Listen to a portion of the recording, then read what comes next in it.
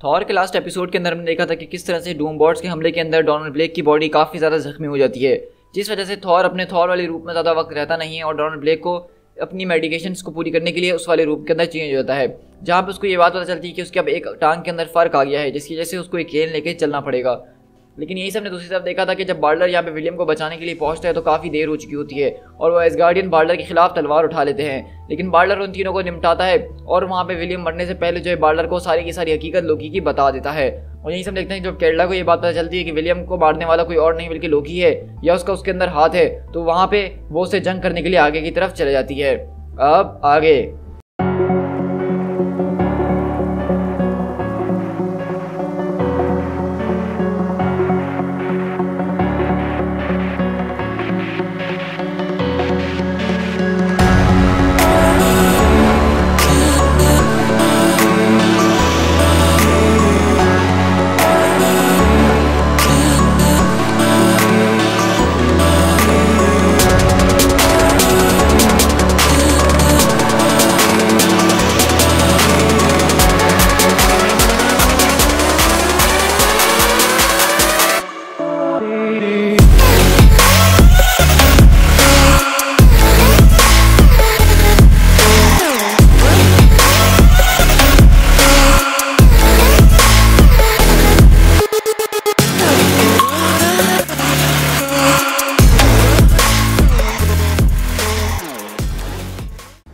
कहानी की शुरुआत होती है हमारी लाइटवेरिया के अंदर से, जहाँ हम देखते हैं कि डॉक्टर वॉन्डू अपनी बालकनी के अंदर खड़ा हुआ देख रहा होता है अब आसमान की तरफ़, जहाँ पे बहुत तेज़ आज बिजली कड़क रही है। और कहता है कि, आओ मेरी तरफ़, मेरे फ्यूचर आओ। और हम देखते हैं कि वहाँ पे कोई और नहीं, बल्कि वो बिजली कड़काते हुए वहाँ पे कैल्डा आ रही होती है। और वहीं पे डूम बोलता है कि, तुम्हारा मास्टर तुम्हारा इंतज़ार कर रहा है।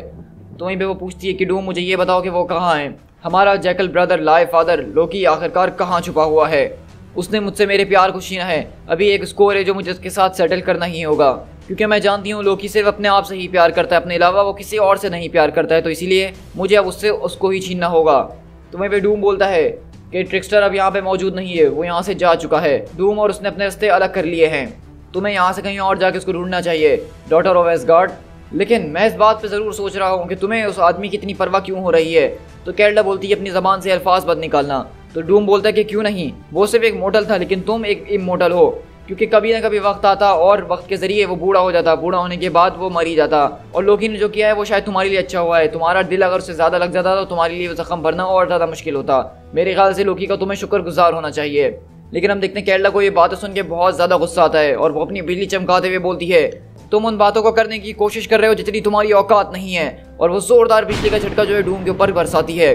और कहती है कि मैं इमोटल हूँ और इसी वजह से मेरा दर्द भी इमोटल है। लेकिन हम देखते हैं कि वो दरअसल डूम नहीं बल्कि डूम का बनाया हुआ सिर्फ़ एक डूम बॉट होता है। जिस तरह तुम बाहर से दिखते हो बिल्कुल पत्थर के अंदर से तुम बिल्कुल वैसे ही हो तुम्हारे अंदर कोई फीलिंग नहीं है। लेकिन तुमने अपने पीछे अपने सुराग छोड़ दिए हैं और ये एक बहुत ही खतरनाक किस्म की मिस्टेक है। केरला के अंदर अभी इस वक्त इतना गुस्सा बाकी है कि वो चाहे तो पूरे की पूरी लेटवीरिया और, उसके टायरेंट से अकेले ही निमट सकती है।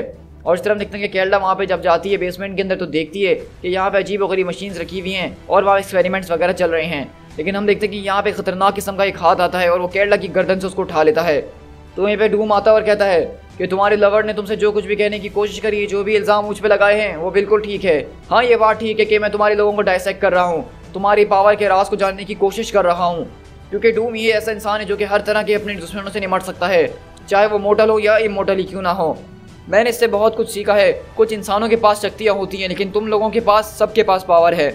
और मैंने अगर अपना दिमाग सही तरीके से इस्तेमाल करा तो मैं सारी की सारी शक्तियों को जो स्टोर कर सकता हूँ ट्रैप कर सकता हूँ, और जब चाहे उसको इस्तेमाल भी कर सकता हूँ। तुम्हारी पावर का जो टेस्ट है, वो मेरे लिए काफ़ी ज़्यादा ज़बरदस्त साबित हो सकता है। ये मेरे नए क्रिएशन को जन्म दे सकता है।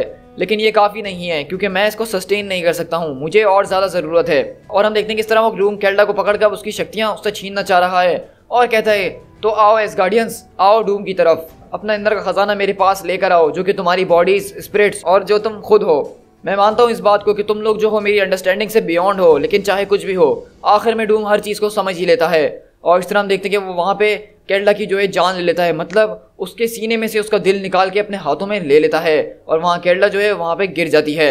और सर हम यहाँ से शिफ्ट होते हैं ओक्लाहोमा के अंदर, जहाँ पे डोनाल्ड ब्लेक जो है यहाँ से बाहर आ रहा होता है और उसकी बात यहाँ पे जेन फोस्टर से हो रही होती है, जो कि उसकी टांग वगैरह के बारे में पूछ रही होती है और कहती है कि तुम अपना ठीक ख्याल क्यों नहीं रख रहे हो? मुझे तुम्हारी बहुत परवाह हो रही है।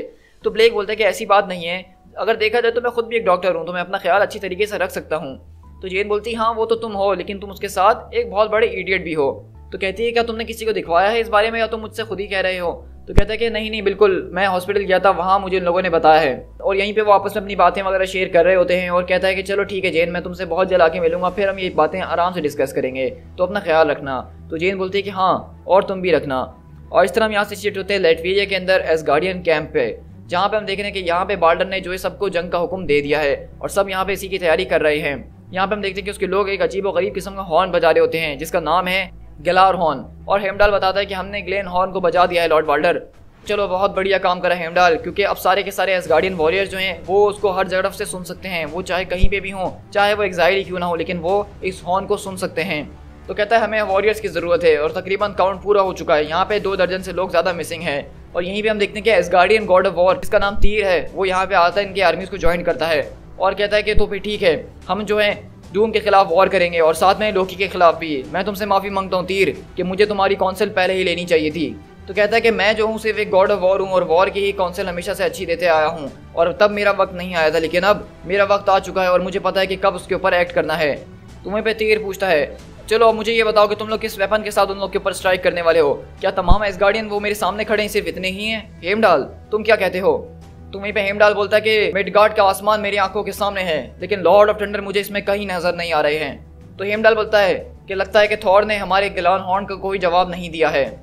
तो वहीं पे चेयर बोलता है कि, इसमें कोई सरप्राइज़ वाली बात नहीं है, वो तो शुरू से ही एक एरोगेंट इंसान है। उसने देखा नहीं हमारे दादाजी यानी बोर के साथ क्या किया था? उसने मर्डर किया था। अब इसमें कोई सरप्राइज़ की बात नहीं है कि वो मर्डरस इंसान जो है, एक रेबेलियस में बदल गया है। तो वहीं पे हेमडाल बोलता है कि, नहीं, मुझे ऐसा नहीं लगता है, और मुझे ऐसा ये भी नहीं लगता कि तुम्हें ऐसा लगता है, तीर। हर चीज़ के पीछे कोई ना कोई रीज़न होता है और थॉर का जवाब ना देने के पीछे भी एक रीज़न ज़रूर है।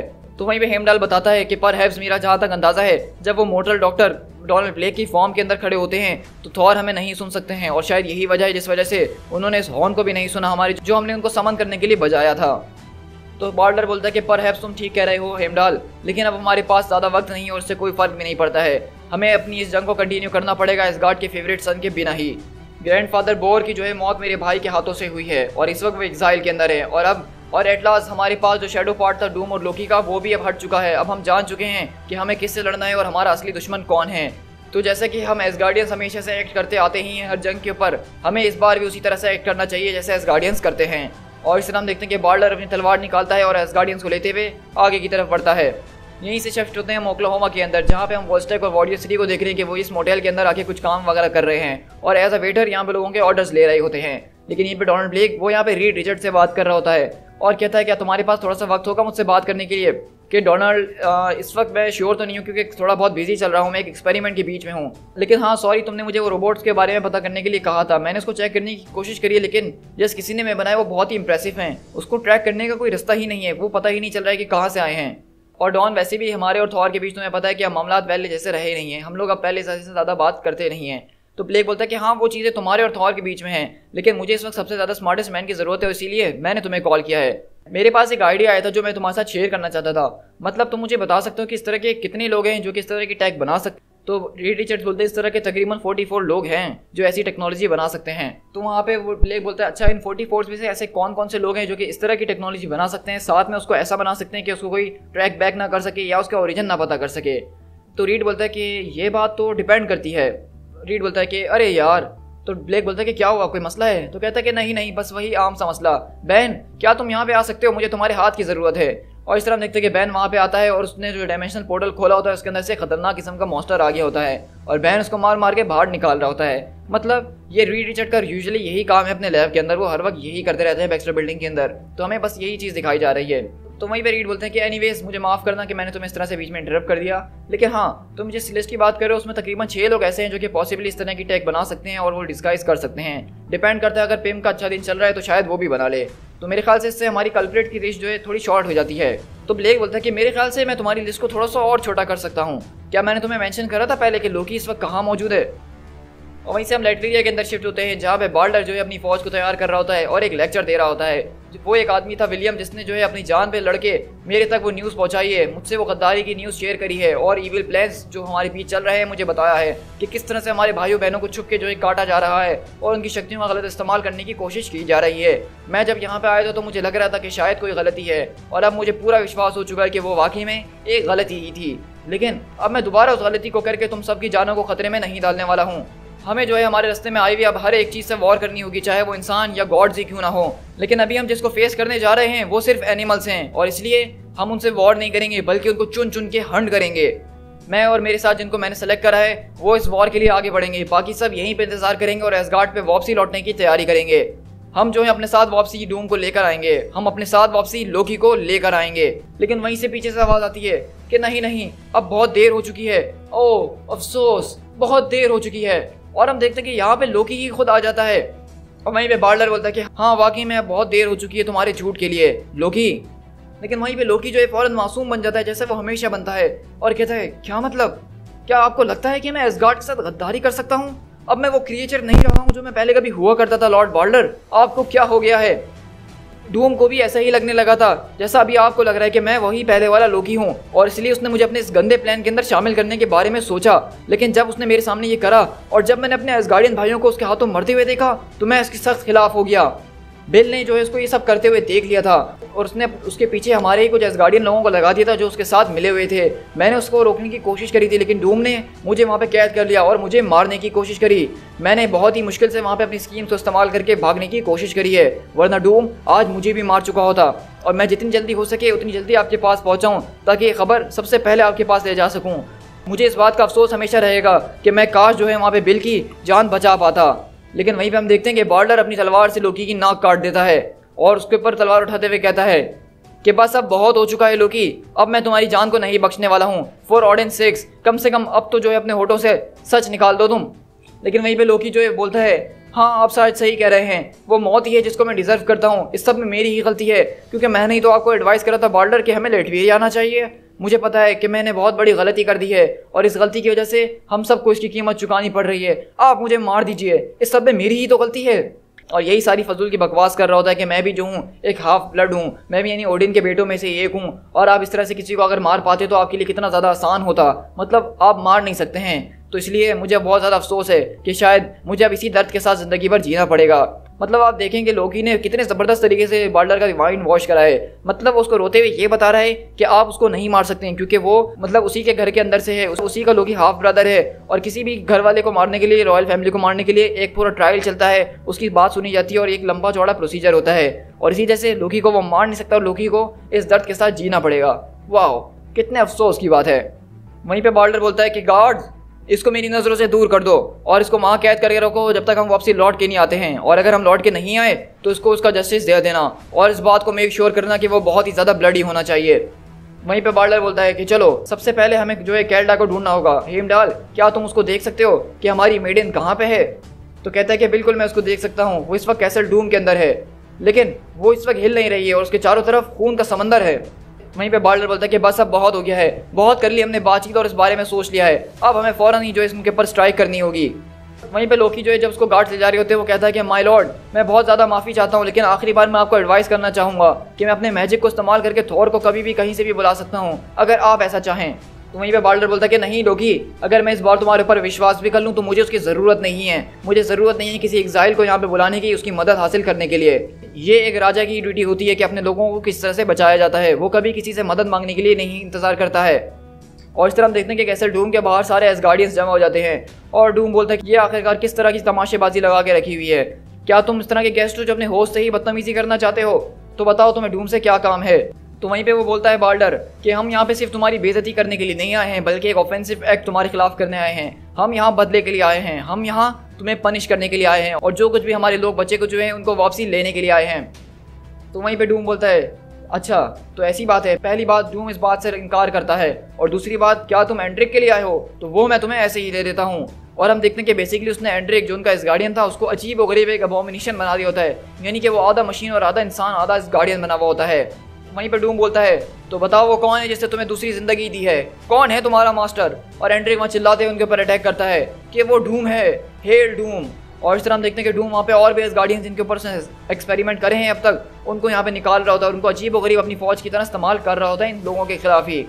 कि ये क्या हो रहा है? ये तो हमारे लोग हैं। इसने उनको एक एमोबिनेशन में बदल दिया है। हम इनसे नहीं लड़ सकते हैं। तो बाल्डर बोलते हैं कि हाँ तुम ठीक कह रहे हो, हम नहीं लड़ सकते। लेकिन हमें फिर भी उनसे लड़ना ही होगा। हमें उनकी याद में उनसे लड़ना होगा कि ये आइंदा किसी और के साथ ना हो सके। हमें लड़ना ही होगा। और इस तरह वार्डर अपनी तलवार निकालता है और अपनी फौज को लेके आगे बढ़ता है उनसे लड़ने के लिए। और डूम यहाँ खड़ो के सारा का सारा तमाशा देख रहा होता है अपने कैसल के अंदर से। वहीं से डूम को आवाज़ आती है। हमारे एक दोस्त के ऊपर मशीन्स के ज़रिए अटैक करवाया गया था। वो मशीन्स ऑफ़ डिस्ट्रक्शन थी।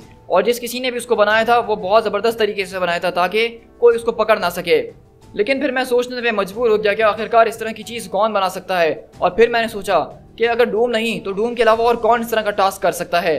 क्योंकि डूम ही ऐसा शख्स है जो कि मोटल वर्ल्ड मिडगार्ड के ऊपर रहता है, जिसने अब तक बहुत कुछ सीख लिया है और उसी के ज़रिए वो सारे काम करता है।